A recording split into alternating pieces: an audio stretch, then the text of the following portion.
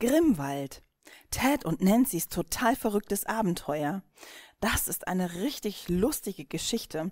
Wenn ihr mal etwas zum Vorlesen haben möchtet oder zum selber lesen, vielleicht so ab acht, sieben oder acht, dann ist das echt was Witziges. Es geht nämlich um die Fuchsgeschwister, Ted und Nancy, die man hier auch auf dem Cover gut sehen kann. Und diese beiden leben in der Stadt. Und ähm, Nancy ist eigentlich den ganzen Tag auf Abenteuerschaft unterwegs, immer unterwegs und Ted muss die ganze Zeit immer im Bau auf Nancy warten und das findet er irgendwann so langweilig und außerdem hat er riesigen Hunger.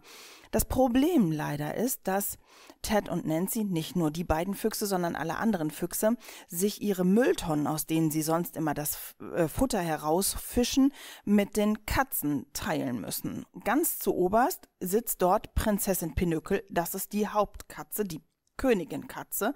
Mm, und sie beansprucht eigentlich alle Mülltonnen für sich und ihre, ihren Katzen, Katzenclan.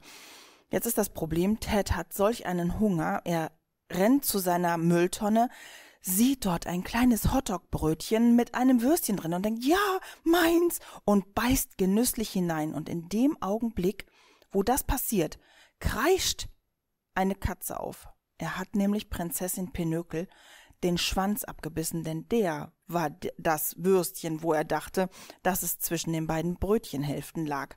Jetzt haben Ted und Nancy nichts mehr zu lachen. Prinzessin Pinökel bietet den beiden die Stirn und sagt, das gibt Krieg, ihr könnt doch nicht meinen Schwanz abbeißen.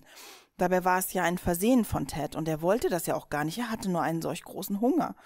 Jetzt haben sie keine andere Wahl. Sie müssen fliehen, raus aus der Stadt, weil sie von den Katzen verfolgt werden. Die einzige Möglichkeit, die sie sehen, ist, im Grimmwald zu verschwinden. Und dort ist alles völlig anders als in der Stadt. Dort gibt es diebische ähm, Vögel, ein Adler, der sofort Nancy's Handy klaut, aber dort fühlt sich Ted ganz anders als in der Stadt, denn er hat die Möglichkeit, eventuell dort Freunde zu finden. Das, was ihm in der Stadt bereits immer verwehrt war. Und ähm, wie es da aber weitergeht, das müsst ihr dann selber lesen. Viel Spaß dabei!